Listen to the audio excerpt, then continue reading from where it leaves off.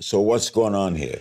Well, you know, we've got uh, you know we, we got a re- we got us a real winter going. I mean, although this is nothing compared to Boston and, and New England. I mean, they, they we've been in a pattern now where five weeks in a row there's been a storm uh, that comes up and and and forms and then reforms off the coast, the New England, the mid Atlantic New England coast, and dumps a ton of snow. And so so Boston, as of this point, is is is in its number two snowiest winter. Is this and all part of climate change? I think it is. I, look, you can't point to any one event and say this is climate change. But what climate change opens the door for and allows for is uh, are more uh, uh, extreme swings of weather. So while you've got uh, this ongoing drought out in California. Yeah, I mean, I, I, mean, you know, I mean, there's been almost no snowpack no snowfall in the I Sierra. I don't remember when it rained. Yeah, and it barely has rained.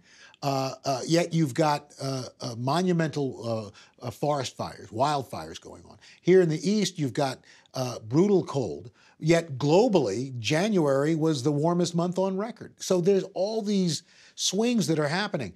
And climate change makes that more possible. Doesn't mean that that's exactly what it is that's causing this, but it makes it all possible. And what is, is there a reason for it all?